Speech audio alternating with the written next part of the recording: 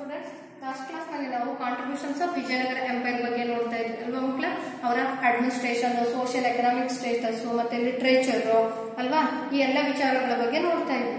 ಹಿಂದಿನ ಕ್ಲಾಸಲ್ಲಿ ನಾವು ಅವರ ರಿಲಿಜಿಯಸ್ ಹಾರ್ಮನಿ ಮತ್ತೆ ಆರ್ಟ್ ಅಂಡ್ ಸ್ಟ್ರಕ್ಚರ್ ಬಗ್ಗೆ ನೋಡೋಣ ಮಕ್ಕಳು ಇಲ್ಲಿ ರಿಲಿಜಿಯಸ್ ಹಾರ್ಮನಿ ಅಂದ್ರೆ what is the meaning of religious harmony? ಧರ್ಮ ಸಹಿಷ್ಣುತೆ ಅಂತ ಹೇಳ್ತೀವಿ. ಅಂದ್ರೆ ಬೇರೆ ಧರ್ಮವನ್ನ ಸಹಿಸಿಕೊಳ್ಳುವುದು. ಅಂದ್ರೆ ಅವರು ಕೂಡ ಅಂತ ಭಾವಿಸಿ ನಮ್ಮರಲ್ಲ ನಮ್ಮೊಳಗೆ ಅವರು ಕೂಡ ಒಂದು ಅಂತ ಭಾವಿಸೋದು. ಅದನ್ನ ನಾವು ಧರ್ಮ ಸಹಿಷ್ಣುತೆ ಅಂತ ಹೇಳಿ ಕರಿತೀವಿ. ಅಂದ್ರೆ ಯಾವುದೇ ವಿಧದಲ್ಲಿ ಅವರಿಗೆ ನಾವು ಯಾವುದೇ ತೊಂದರೆಯನ್ನ ಮಾಡಿದರೆ ನಮ್ಮ ಜೊತೆಯಲ್ಲೇ ಇಟ್ಕೊಂಡು ಅವರನ್ನು ಕೂಡ ಸಲಹೋದಕ್ಕೆ ನಾವು ಧರ್ಮ ಸಹಿಷ್ಣುತೆ ಅಂತ ಹೇಳಿ ಕರಿತೀವಿ. ಹಾಗಾದ್ರೆ ನಮ್ಮ ವಿಜಯನಗರದ ಅರಸರು ಯಾವ ರೀತಿ ಧರ್ಮ ಸಹಿಷ್ಣುಗಳಾಗಿದ್ರು ಅನ್ನೋದನ್ನ ನೋಡೋಣ ಮಕ್ಕಳು ಇವ್ರು ಎಂತ ಧರ್ಮ ಸಹಿಷ್ಣರಾಗಿದ್ರು ಅನ್ನೋದಕ್ಕೆ ಒಂದು ಬೆಸ್ಟ್ ಎಕ್ಸಾಂಪಲ್ ಅಂತ ಹೇಳಿದ್ರೆ ಇವರ ರಾಜಧಾನಿಯಲ್ಲಿ ಇವರು ಮುಸಲ್ಮಾನರಿಗೂ ಕೂಡ ಅವಕಾಶವನ್ನ ಕೊಟ್ಟಿದ್ದು ಅವರಿಗೋಸ್ಕರ ಒಂದು ಮಸೀದಿಯನ್ನು ಕೂಡ ಇವರು ಸ್ಥಾಪನೆ ಮಾಡಿರ್ತಾರೆ the built mosque in the capital ಅವರ ರಾಜಧಾನಿಯಲ್ಲೂ ಕೂಡ ಮಸೀದಿಗಳಿಗೆ ಕಟ್ಕೊಳ್ಳೋದಕ್ಕೂ ಕೂಡ ಇವರು ಅವಕಾಶವನ್ನ ಕೊಟ್ಟಿರ್ತಾರೆ ಇದ್ರ ಬಗ್ಗೆ ಶ್ರವಣ ಬೆಳಗೊಳದ ಶಾಸನ ಹೇಳುತ್ತೆ. ಎಷ್ಟು ತರ್ಟೀನ್ ಸಿಕ್ಸ್ಟಿ ಏಟ್ನಲ್ಲಿ ರಚನೆ ಆಗಿರುವಂತ ಶ್ರವಣ ಬೆಳಗೊಳ ಇನ್ಸ್ಕ್ರಿಪ್ಷನ್ ಹೇಳುತ್ತೆ ಏನಂತ Bukkaraya solve differences of opinions between Jains and Vaishnavas Bukkaraya ನಿಮ್ಗೆಲ್ಲ ಗೊತ್ತಾ ಇದೆ ಸಂಘವಂಶದ ದೊರೆ ಬುಕ್ಕರಾಯ ಅನ್ನುವಂಥವನು ಅವನ ಕಾಲದಲ್ಲಿ ಏನ್ ಮಾಡ್ತಾ ಇದ್ದ? ಜೈನರು ಮತ್ತೆ ವೈಷ್ಣವರ ಬಗ್ಗೆ ಭಿನ್ನಾಭಿಪ್ರಾಯಗಳಿತ್ತು ಕೆಲವೊಂದು ವಿಚಾರದಲ್ಲಿ. ಆ ಭಿನ್ನಾಭಿಪ್ರಾಯಗಳನ್ನ ಪರಿಹರಿಸುವ ಕೆಲಸವನ್ನ ಬುಕ್ಕರಾಯ ಮಾಡ್ತಾ ಇದ್ದ ಅಂತ ಹೇಳಿದ್ರೆ ಅವನು ಕೇವಲ ಒಂದು ಧರ್ಮಕ್ಕೆ, ಒಂದು ಪಂಥಕ್ಕೆ ಅವನು ಸೀಮಿತ ಆಗಲಿರಲಿಲ್ಲ ಅನ್ನೋದು ಇದರಲ್ಲಿ ನಮ್ಗೆ ಗೊತ್ತಾಗುತ್ತೆ.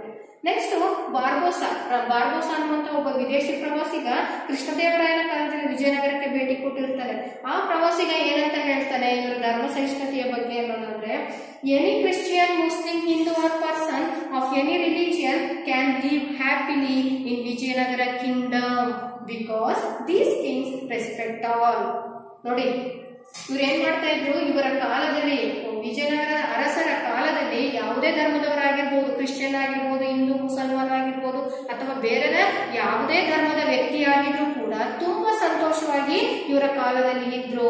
ಕಾರಣ ಏನು ಅಂತ ಹೇಳಿದ್ರೆ, ವಿಜಯನಗರದ ಅರಸರೆಲ್ಲರೂ ಕೂಡ ಎಲ್ಲ ಧರ್ಮದ ವ್ಯಕ್ತಿಗಳನ್ನ ಗೌರವಿಸ್ತಾ ಇದ್ರು ಅಂತ ಹೇಳ್ತಾರೆ ಮಕ್ಕಳು ಇದರಿಂದ ನಮ್ಮ ವಿಜಯನಗರದ ಅರಸರು ಎಷ್ಟು ಧರ್ಮ ಸಹಿಷ್ಣುಗಳಾಗಿದ್ರು ಅನ್ನೋದ್ರ ಬಗ್ಗೆ ನಮ್ಗೆ ಇವತ್ತು ಗೊತ್ತಾಗುತ್ತೆ. ಯಾಕೆ ಇದನ್ನ ಹೇಳ್ತಾ ಇದೀವಿ ಅಂತ ಹೇಳಿದ್ರೆ, ಇವರ ಧರ್ಮ ಸಹಿಷ್ಣುತೆಯ ಆದಿಯಲ್ಲೇ ನಾವು ಕೂಡ ಮುಂದುವರೆದ್ರೆ ಇಂದಿನ ಜನಾಂಗನು ಕೂಡ ಅದೇ ರೀತಿಯಲ್ಲಿ ಎಲ್ಲವನ್ನ ಸಹಿಸಿಕೊಂಡು ಸಾಗೋದಾದ್ರೆ, ನಮ್ಮ ದೇಶ, ನಮ್ಮ ಪ್ರಪಂಚ ಪ್ರಗತಿಯನ್ನ ಸಾಧಿಸುತ್ತೆ. ಯಾವುದೇ ಯುದ್ಧಗಳಿಗೆ ಅವಕಾಶವನ್ನ ಕಲ್ಪಿಸಿಕೊಡೋಕ್ಕಾಗಲ್ಲ ಅವಾಗ ಎಲ್ಲರೂ ನಮ್ಮಂತೆ ಅಂತ ನಾವು ಭಾವಿಸ್ಕೊಂಡು ಸಹಬಾಳ್ವೆಯಿಂದ ಜೀವನ ನಡೆಸಿದಾಗ ನಮ್ಮ ಸಮಾಜ ಒಂದು ಒಳ್ಳೆಯ ಸಮಾಜವಾಗಿ ಗುರುತಿಸ್ಕೊಳ್ಳೋದ್ರಲ್ಲಿ ಎರಡು ಮಕ್ಕಳು ಹಾಗಾಗಿ ನಾವು ಯಾರನ್ನೂ ದ್ವೇಷಿಸುವ ಕೆಲಸವನ್ನ ಯಾವುದೇ ಪಂಗಡ, ಮತ, ಪಂಥ, ಜಾತಿ, ಲಿಂಗಭೇದವಿಲ್ಲದೆ ಪ್ರತಿಯೊಬ್ಬರನ್ನು ಕೂಡ ನಾವು ಗೌರವಿಸಬೇಕು ಅನ್ನೋದನ್ನ ನಾವು ಈ ಲೆಸನ್ ಇಂದ ತಿಳ್ಕೊತೀವಿ ನೆಕ್ಸ್ಟ್ ಆರ್ಟ್ ಅಂಡ್ ಕಲ್ಚರ್ ಅಂದ್ರೆ ಕಲೆ ಮತ್ತು ವಾಸ್ತುಶಿಲ್ಪ.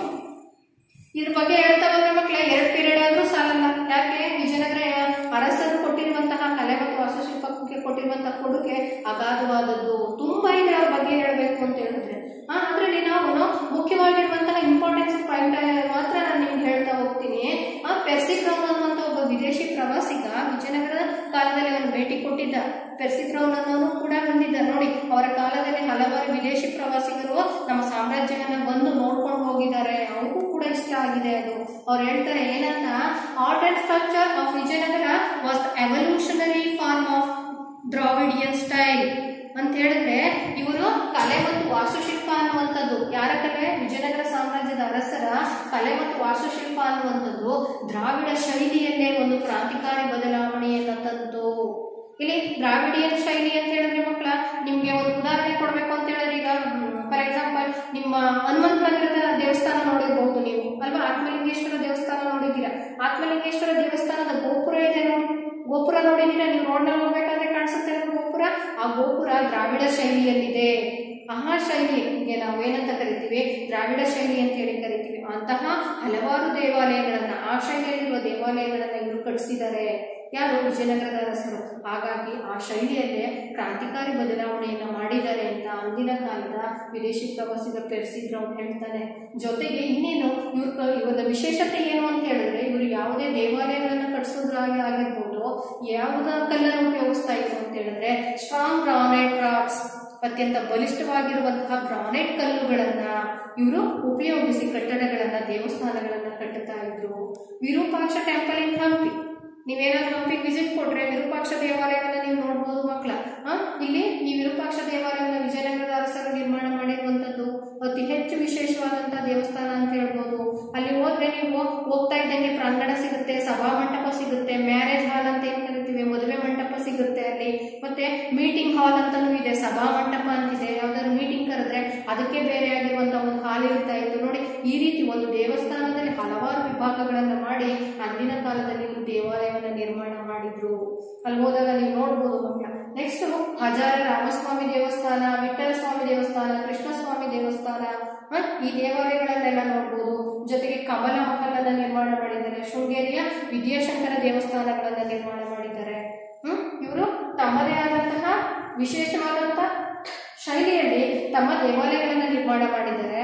ಜೊತೆಗೆ ಇವರು ನಮ್ಮ ಕರ್ನಾಟಕದಲ್ಲಷ್ಟೇ ಅಲ್ಲ, ಹೊರಗಡೆನೂ ಕೂಡ ಹಲವಾರು ಕಟ್ಟಡಗಳನ್ನ ದೇವಾಲಯಗಳನ್ನ ನಿರ್ಮಾಣ ಮಾಡಿದ್ದಾರೆ. ಕಾಳಹಸ್ತಿ, ಮತ್ತೆ ಶ್ರೀಶೈಲ, ತಿರುಪತಿ, ಕುಂಭಕೋಣಂ ಕಂಚಿ ಇನ್ನು ಮುಂತಾದ ಕಡೆಯಲ್ಲೂ ಕೂಡ ಇವರು ದೇವಸ್ಥಾನಗಳನ್ನ ನಿರ್ಮಾಣ ಮಾಡಿದ್ದಾರೆ. ಯಾರು? ನಮ್ಮ ವಿಜಯನಗರದ ಅರಸರು. ಜೊತೆಗೆ ಇನ್ನೂ ಒಂದು ಇಂಪಾರ್ಟೆಂಟ್ ಆಗಿರುವಂತ ಪಾಯಿಂಟ್ ಅಂತ ಹೇಳಿದ್ರೆ, ನೀವು ಹಂಪೆಗೆ ವಿಸಿಟ್ ಕೊಟ್ಟಾಗ ನೀವು ನೋಡ್ಬೋದು, ಕಲ್ಲಿನ ರಥ, ತೀರ್ಥ ಆ, ಕಲ್ಲಿನಲ್ಲೇ ರಥವನ್ನ ಕೆತ್ತಿದ್ದಾರೆ. ಕೇವಲ ಏಕಶಿಲಾ ವಿಗ್ರಹ ಅಂತೇಳಿ ನಾವು ಕರಿತೀವಿ. ಒಂದೇ ಒಂದು ಇದರಲ್ಲಿ ಶಿಲೆಯಲ್ಲಿ ಒಂದು ನರಸಿಂಹ ದೇವರ ಒಂದು ಇದ್ರನ್ನ ಶಿಲ್ಪವನ್ನ ಕೆತ್ತಿದ್ದಾರೆ. ನೀವು ನೋಡ್ಬೋದು ಮಕ್ಕಳ ಏಕಶಿಲಾ ವಿಗ್ರಹ ಅಂತ ಕರಿತೀವಿ. ಮತ್ತೆ ಕಲ್ಲಿನ ಗಣಪತಿ ಸಾಸಿವೆ ಕಾಲು ಗಣಪತಿ ಅಂತ ನಾವು ಕರಿತೀವಿ. ಆ ಗಣಪತಿ ವಿಗ್ರಹವನ್ನು ಕೂಡ ಕೆತ್ತಿದ್ದಾರೆ. ನರಸಿಂಹದೇವರ ವಿಗ್ರಹ ಕೆತ್ತಿದ್ದಾರೆ. ಮತ್ತೆ ಜೊತೆಗೆ ಒಂದೇ ಕಲ್ಲಿನಲ್ಲಿ ಕಲ್ಲಿನ ರಥವನ್ನು